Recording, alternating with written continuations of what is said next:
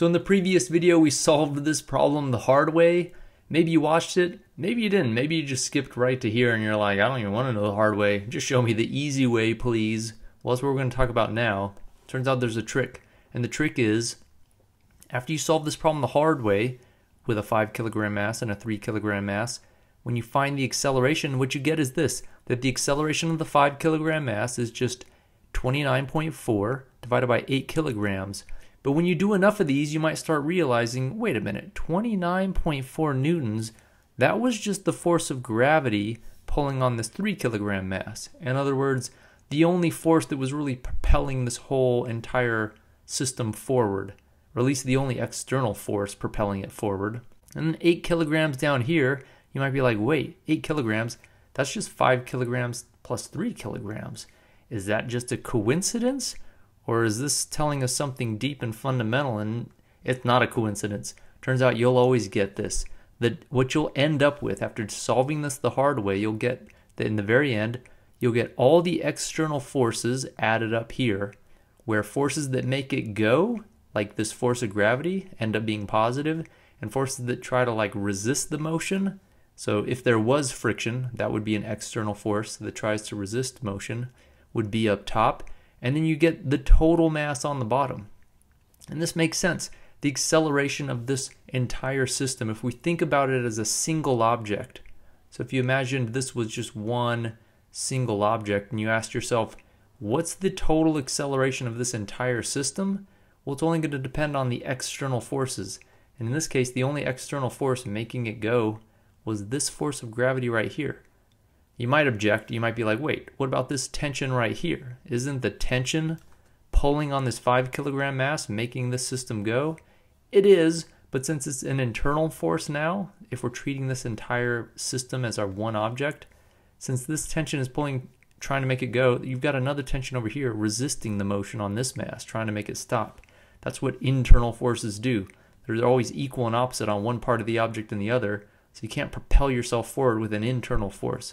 So these end up canceling out essentially.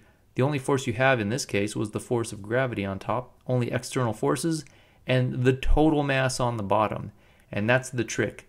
That's the trick to quickly find the acceleration of some system that might be complicated if you had to do it in multiple equations and multiple unknowns, but much, much easier once you realize this. So the trick, sometimes it's called just treating systems as a single object.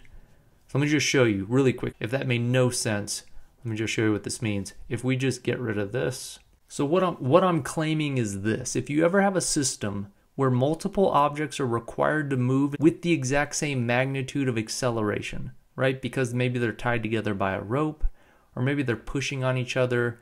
Maybe there's many boxes in a row, and these boxes all have to be pushed at the same acceleration because they can't get pushed through each other right? If there's, if there's some condition where multiple objects must have the same magnitude of acceleration, then you can simply find the acceleration of that system as if it were a single object. I'm writing SYS for system by just using Newton's second law, but instead of looking at an individual object for a given direction, we're just going to do all of the external forces, all the external forces on our system, treated as if it were a single object, divided by the total mass of our system.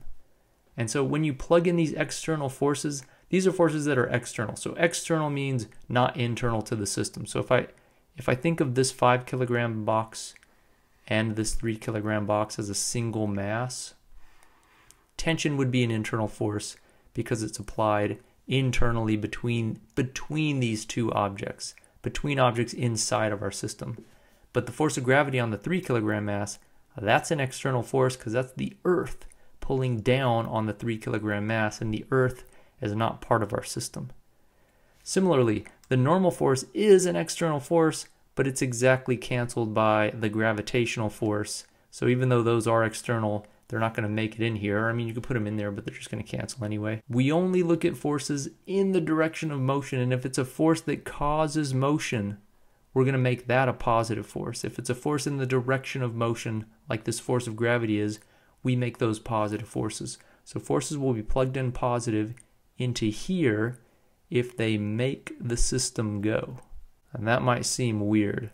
You might be like, wait, how do I decide if it makes the system go? Well, just ask yourself, is that force directed in the same direction as the motion of the system? So we're just saying the system's going to accelerate if there's forces that make it go, and we're going to make negative, we're going to plug in negative forces, the forces that make the system stop or resist the motion of the system. So maybe I should say resist motion of the system. In this case, for this one down here, I don't have any of those. So resist motion of the system. I don't have any of those. I could have if I had a force of friction, then there'd be an external force that resists the motion. I would plug in that external force as a negative because it resists the motion. So even though this might sound weird, it, it makes sense if you think about it. The acceleration of our system, treated as a single object, is only going to depend on the forces that try to make the system go and the forces that try to make the system stop or resist the motion. So if we add those accordingly with positives and negatives, we divide by the total mass, which gives a total measure of the inertia of our system. We'll get the acceleration of our system. It makes sense, and it works. Turns out this always works, and it saves a ridiculous amount of time. For instance, if we wanted to do this problem, if you just gave me this problem straight away and you were told do this however you want, I would use this trick. And I would say that the acceleration of this system which is composed of this 5 kilogram mass and our 3 kilogram mass, is just going to be equal to, I'd ask myself, what force makes this system go? What force drives this system? And it's this force of gravity on the 3 kilogram mass that's driving this system, right? If you took this force away, if you eliminated that force, nothing's going to happen here. This is the force making the system go. So I'd put in my 3 kilograms times 9.8 and at this point, you might be like, well, okay, that gravity made it go. Should I include this gravity too? But no, that gravity is perpendicular to the motion for one.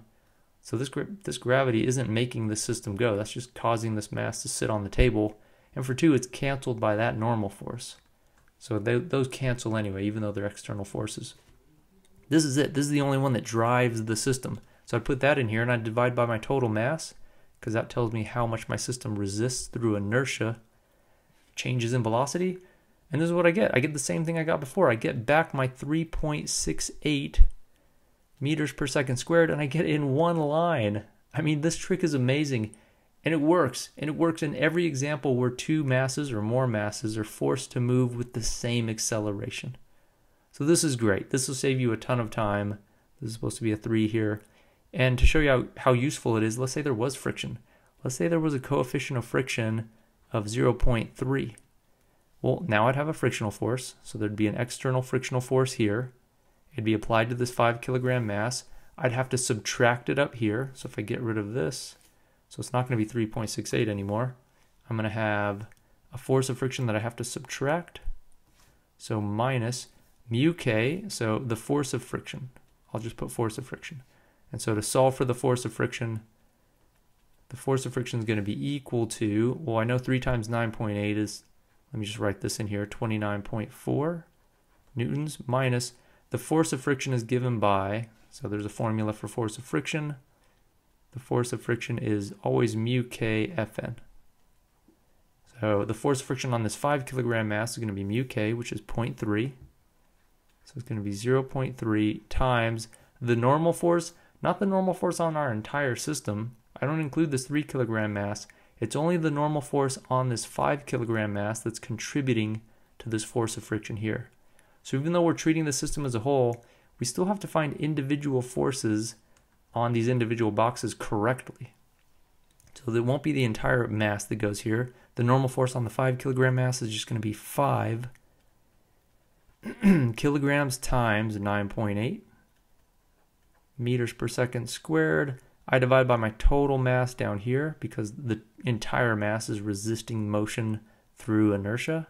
Now if I solve this for my acceleration of the system, I get 1.84 meters per second squared. So this is less, less than our 3.68, and that makes sense. Now there's a resistive force, a resistive external force trying to prevent the system from moving.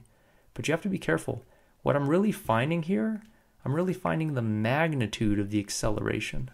This is just giving me the magnitude. If I'm playing this game where positive forces are ones that make it go, and negative forces are ones that resist motion, external forces that is, I'm just getting the magnitude of the acceleration. Individual boxes will have that magnitude of the acceleration, but they may have positive or negative accelerations. In other words, this 5 kilogram mass accelerating to the right, going to have a positive acceleration.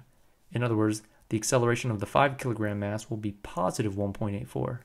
And the acceleration of the 3 kilogram mass, since it's accelerating downward, will be negative 1.84 meters per second squared.